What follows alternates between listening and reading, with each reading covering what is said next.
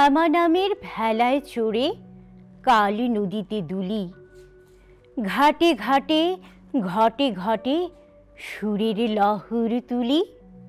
কালে তরঙ্গে ভাসিয়ে অঙ্গ, দেখে বেড়াই কতই রঙ্গ। কায়ায় কায়ায় রং বেরঙের শত মায়ার ধুলি।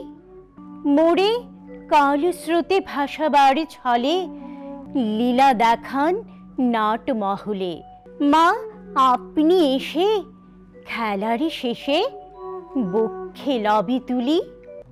রবীন্দ্রোত্তর বাংলা সাহিত্যে অসীম প্রতিভাবান কবি, যিনি কিনা জাতপাতের ঊর্ধ্বে ছিলেন এবং যার রচনা সম্ভার এতই বিশাল যে এই ক্ষুদ্র পরিসরে তার সম্মুখ উপস্থাপনা প্রায় অসম্ভব। এবং দুরূহত বটেই। এই ক্ষুদ্র পরিসরে আমরা তার বিশাল রচনাশৈলী থেকে শ্যামাসঙ্গীত বেছে নিয়েছি।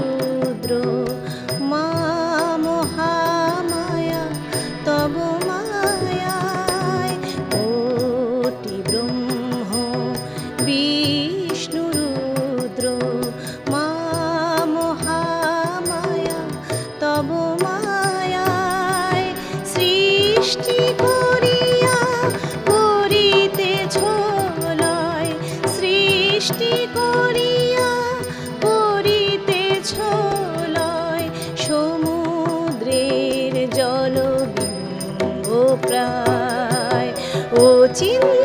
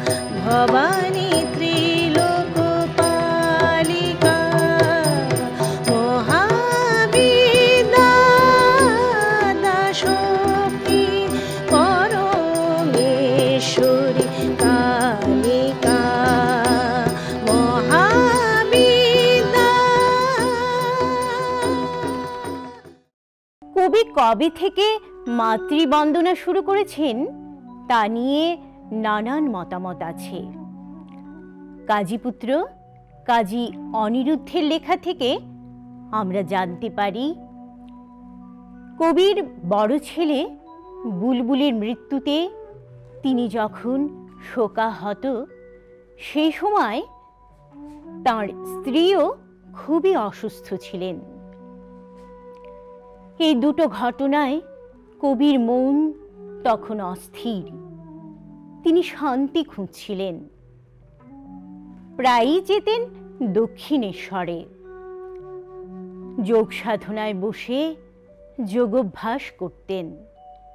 বাড়িতে অনেকটা সময় কাটাতেন শাশুড়ি গিরিবালা দেবীর ঠাকুর ঘরে সেই সময়ের প্রেক্ষাপটে কবি মাতৃবন্দনা লেখা শুরু করেন।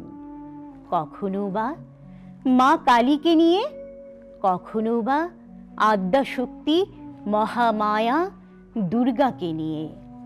বিংশ শতাব্দীর শ্রেষ্ঠ শ্যামা সঙ্গীতকার ছিলেন কাজী নজরুল ইসলাম। উনিশশো ছেষট্টি সালে একশোটি শ্যামা সংগীত সমৃদ্ধ রাঙা জবা গ্রন্থটি প্রকাশিত হয়। কবি তাঁর অন্তরের অকৃত্রিম আকুলতা ও আরতি উজাড় করে দিয়েছিলেন সেই সঙ্গীতগুলির রচনায়। আমরা তার লেখনীতে তা প্রত্যক্ষ করতে পারি।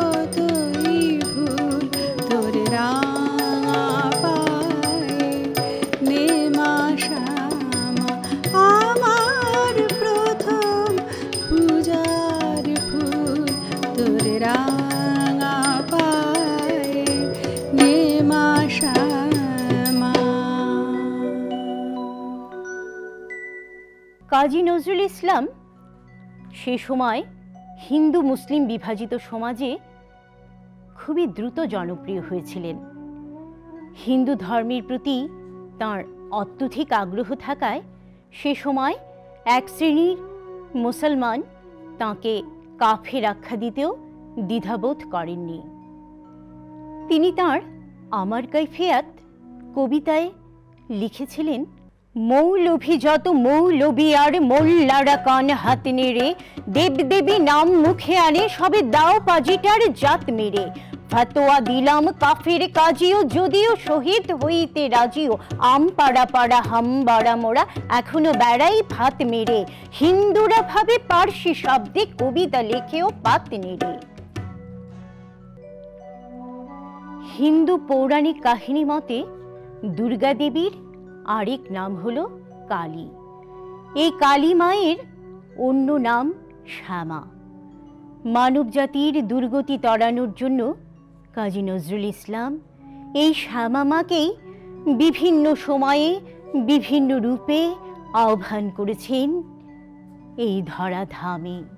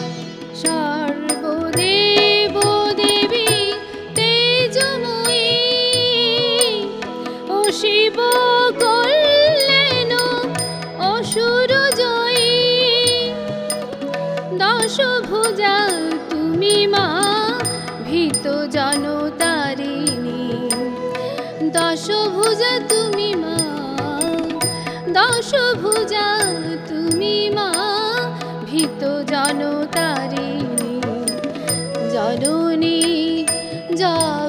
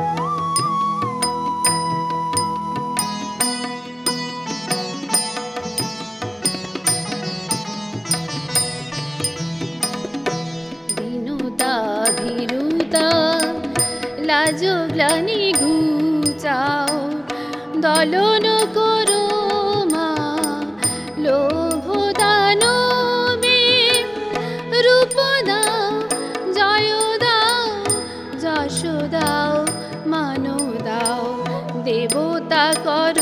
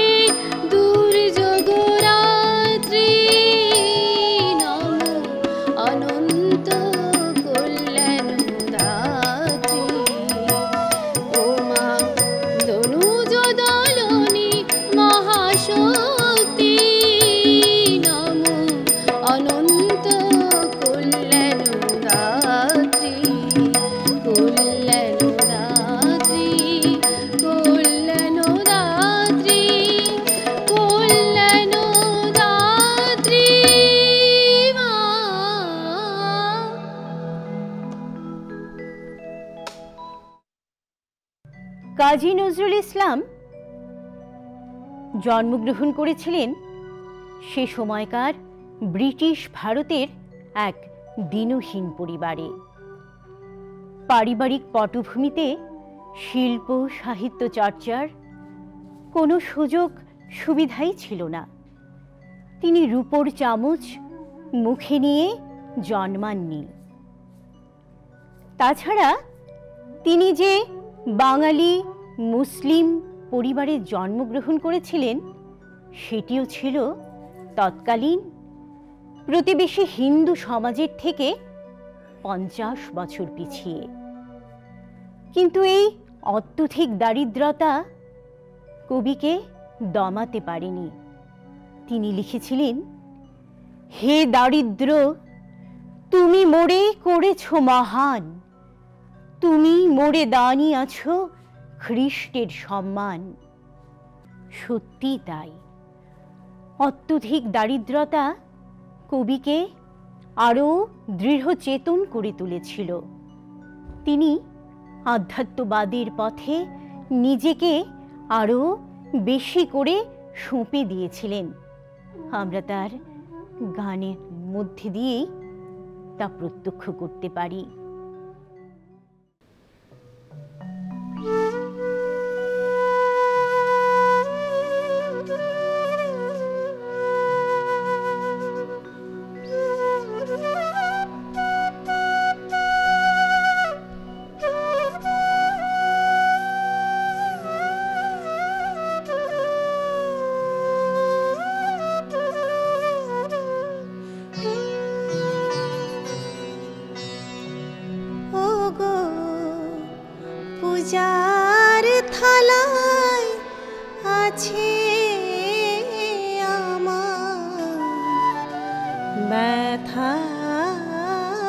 শতদ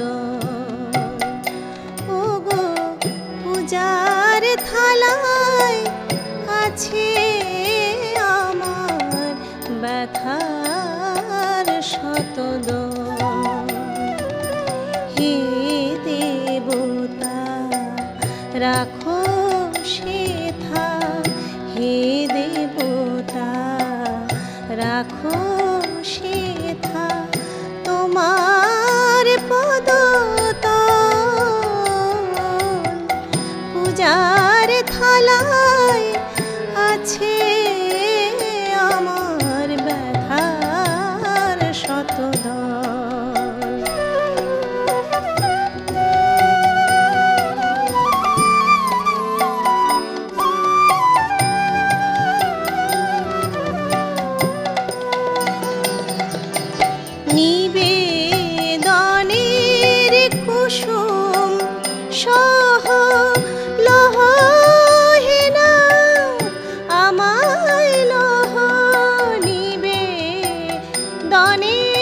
কুসুম সহ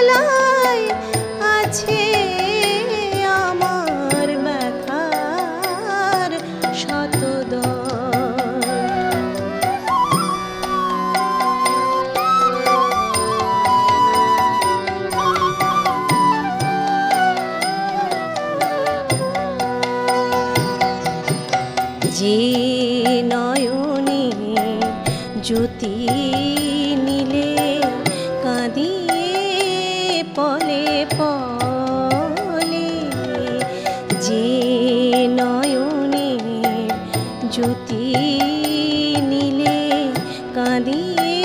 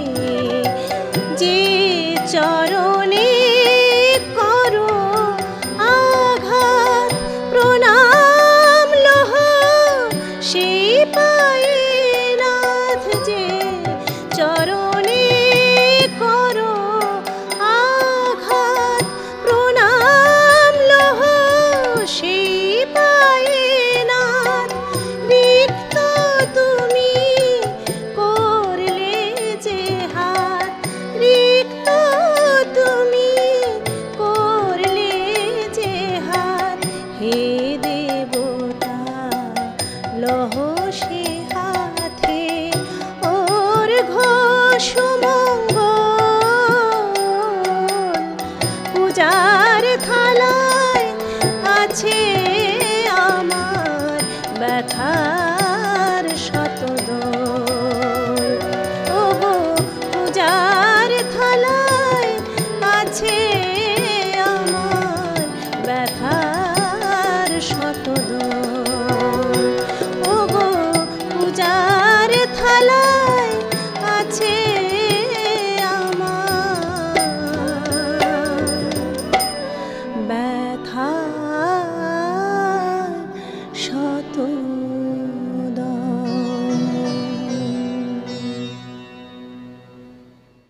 কাজী নজরুল ইসলাম শ্মশানে বসে যোগ সাধনার মাধ্যমে শ্মশান কালী মায়ের অস্তিত্ব অনুভব করেছিলেন।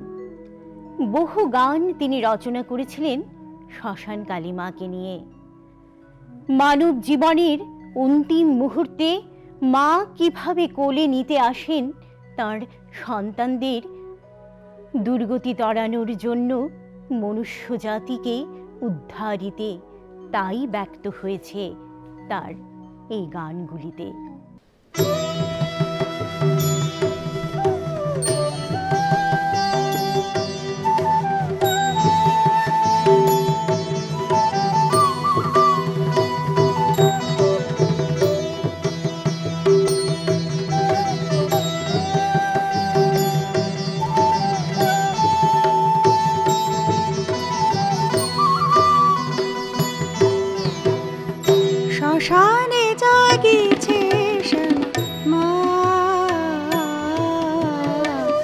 শ্মশানে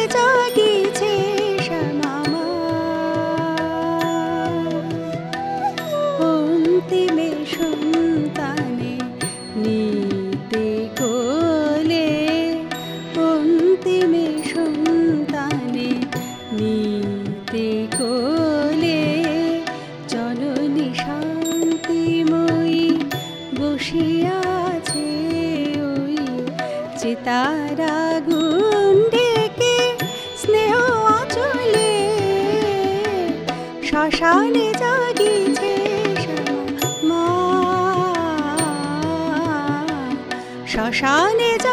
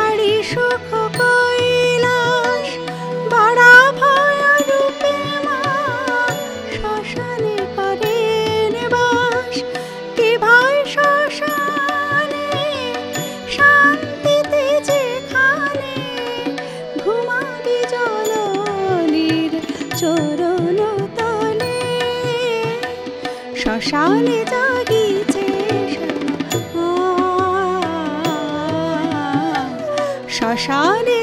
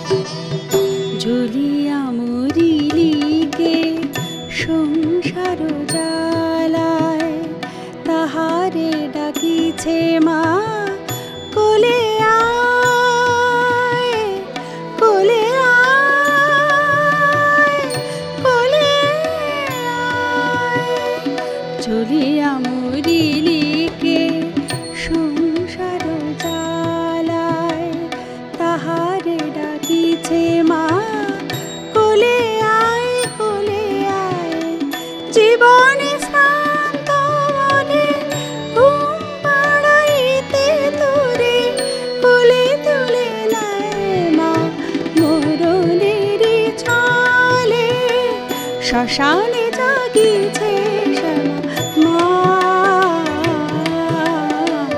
শ্মশানে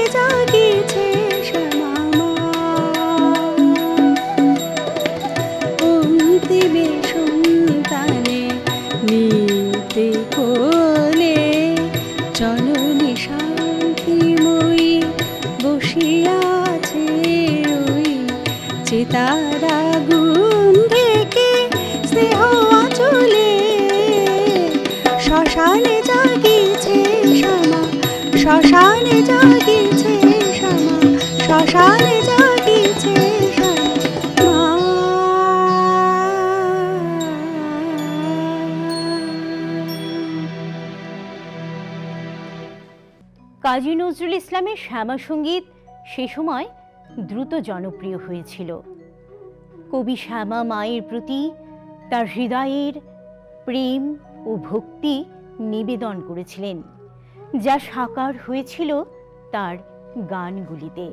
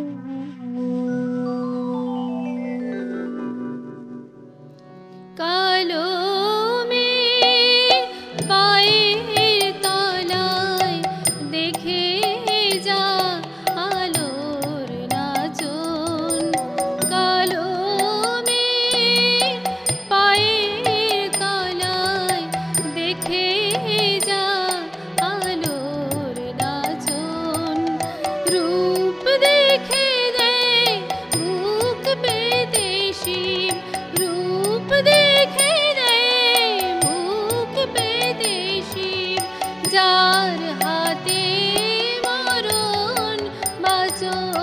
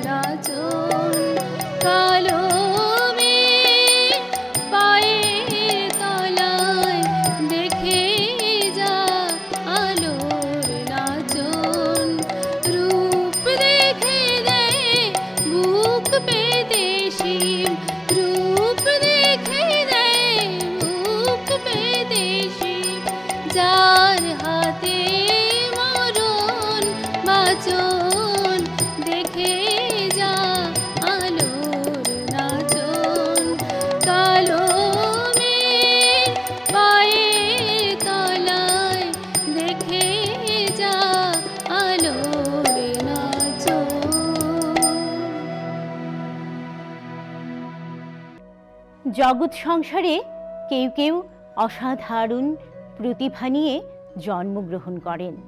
কাজী নজরুল ইসলাম তাঁদের মধ্যে অন্যতম। তাই তো আজও তার সৃষ্টি চর্চিত হয়ে আসছে বিভিন্ন ধর্মীয় অনুষ্ঠানে। জীবন যতদিন থাকবে, কাজী নজরুল ইসলাম আমাদের হৃদয়াসনে ততদিনই বিরাজ করবেন। পরশে তব চরণ, সব হলো মধুময়। তব জয়, গাহিছে সবাই একসাথে মিলে জয় জয় তব জয়।